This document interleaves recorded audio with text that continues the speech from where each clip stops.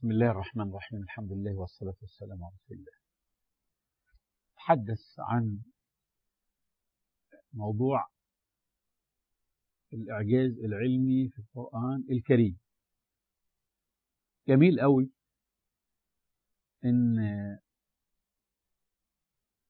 الناس أو المتخصصين يظهروا إعجاز القرآن الكريم كل في تخصصه. بعيدا عن العاطفة وبعيدا عن التمحك في الآيات وتقديسا للنص القرآني. حينما يتناول موضوع في قضية إعجاز القرآن من الناحية العلمية يجب أن نتبع ما جرت عليه العادة والأخلاقيات للبحث العلمي. حقيقة هذه المقدمة كانت بسبب إنهال على بريد الإلكتروني مجموعة من الرسائل بتتكلم عن إعجاز عظيم قد اكتشفه العلماء. من العلماء؟ مانيش عارف. دي أول حاجة. وهو علاقة مكة المكرمة بما يسمى بالنسبة الذهبية. Golden ratio. إيه هي النسبة الذهبية؟ قالوا هو عبارة عن ثابت رياضي. الثابت الرياضي قيمته واحد وستمية وتمنتاشر من مية. يعني واحد فاصل ستة تمانية واحد. وهذا يتحقق في كثير من المنشآت الهندسية والمعمارية وكما قال شريط الفيديو اللي اطلعت عليه في دقات قلب الإنسان وفي ورق الشجر وفي وفي وكأن النسبة دي هي النسبة التي يدور حواليها محور الخلق. الحقيقة حبيت أستفسر. فقالوا دي ثابت رياضي. أنا لست تخصصي رياضيات أنا جيولوجيا. لكن فاسألوا أهل الذكر إن كنتم لا تعلمون. سألت الدكتور أستاذ الدكتور محمد السيد باعتبار واحد من العلامات أو العلامات البارزة في الرياضيات. فقلت له النسبة الثابتة قال لي ده ثابت بيخلي المعادلة شكلها جميل. قلت له يعني إيه؟ قال لي مش عارف جذر إيه يساوي إيه.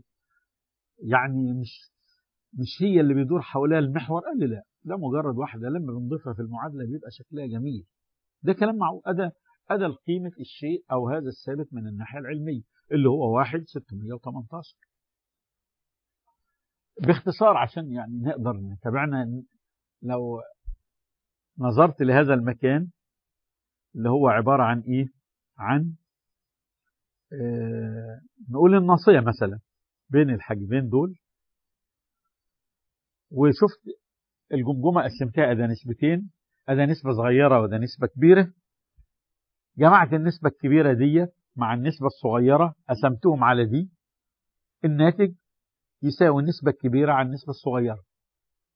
يعني بلغة الرياضة A plus B على A بتساوي A على B. دي هتلاقيها في طول دراع الإنسان بالنسبة لقامته. تلاقي فيها في وضع الحق دي هذا المكان بالنسبة للمنكبين. تلاقي فيها الظاهرة الظاهرة معروفة وبتدرس مدرسة أنا شخصيا مدرسة قريبا خالص في محاضرة في علم ال paleontology الحفريات القديمة الحياة القديمة. هي عبارة عن بيسمى isometric growth النمو اللي بيرتبط شيئين بيرتبطوا مع بعض طول مع العرض. كل ما زاد الطول كل ما زاد العرض مثلا على سبيل المثال. دي علاقة النمو المتساوي أو ممكن تجدها في محاور البلورات. كلام في حاجات كتيرة جدا تجد. إنما شوف العاطفة بقى. إن إحنا نقول إن مكة بتقع بتحقق النسبة الثابتة هذه النسبة الثابتة اللي هو العلامة الذهبية جولدن ريشيو في الأرض. كويس أو أنا كواحد مسلم يبقى سعيد وفرحان إن القبلة التي يتوجه إليها في صلاته والكعبة التي يتوجه يطوف حولها في طوافه وهذا المكان ذات الهيبة والجمال والمكان تبقى هي القمة القبلة الذهبية أو تبقى هي النسبة الذهبية.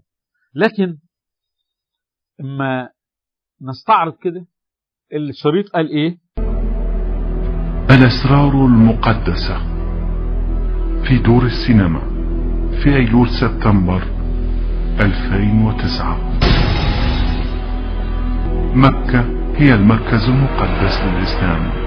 ستشهدون بعد قليل الكشف العلمي وبالدلائل عن الأسرار العجيبة المخفية منذ آلاف الأعوام في المدينة المقدسة مكة المكرمة. الثابت F5 1.618 الرقم المثالي للتفوق التصميمي في الرياضيات. لقد استعمل الخالق نفس الرقم العظيم. في الكثير من الأماكن في دقات قلوبنا وفي نسبة العرض والطول لحلزونات جزيئات دي إن اي وفي التصميم الخاص للكون وفي قواعد ترصف الأوراق وفي كريستال الجليد وفي البنية الحلزونية للكثير من المجرات وفي الكثير من الأماكن. النسبة الذهبية أي 1.618 ويلاحظ أن هذه النسبة استعملت حتى في تصميم الأهرامات في مصر. ووصف العالم الفلكي الشهير كيبلر هذا الرقم بأنه كنز.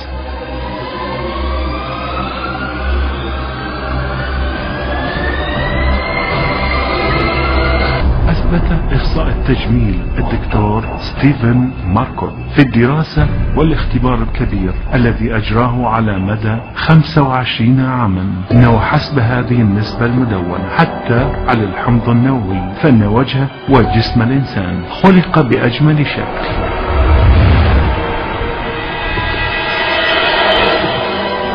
إن النسبة بين المقاسات الأساسية التي تعرف شكلا ما من بعضها البعض هي رقم 1.618 وهذا يدل على ملائمتها مع التصميم المثالي أي النسبة الذهبية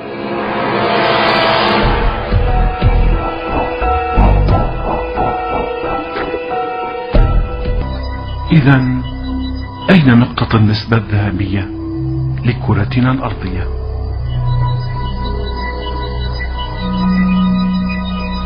إن نسبة بعد مدينة مكة المكرمة عن نقطة القطب الشمالي وعن نقطة القطب الجنوبي هي واحد فاصلة ستمائة ثمانية عشر أي النسبة الذهبية.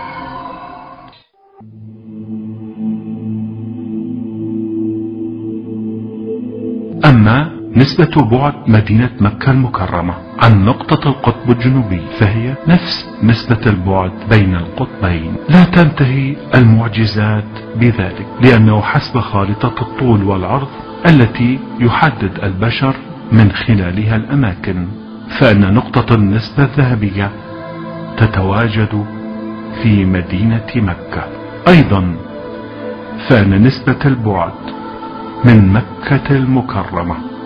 نحو البعد الشرقي والبعد الغربي لحدود خط التحول اليومي. هي 1.618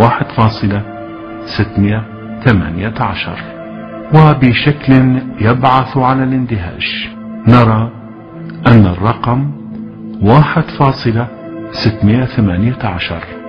أي النسبة الذهبية هي نفس بعد مكة من الجهة الغربية لخط التحول اليومي مع البعد المحيطي لخط الكرة الأرضية. ورغم الانحرافات الصغيرة بعدة كيلومترات في كل أنظمة الخرائط لا تخرج نقطة النسبة الذهبية خارج مدينة مكة إطلاقا وتظل داخل المنطقة المقدسة التي تضم الكعبة المشرفة.